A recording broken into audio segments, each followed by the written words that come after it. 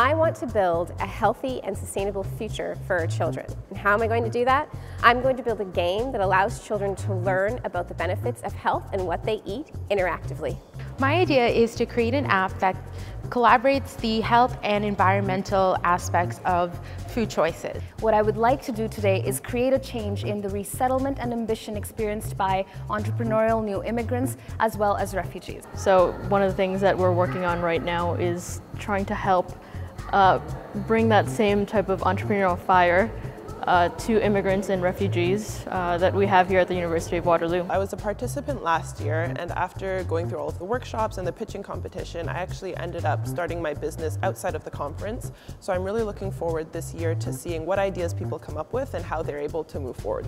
I'm very happy. It's amazing to see women have such a big, big, huge part in entrepreneurship. It's amazing. And coming to events like these, we get to share with each other. We get to feed off of each other's passions and each other's excitement and actually further their ideas to actually make impact in the world.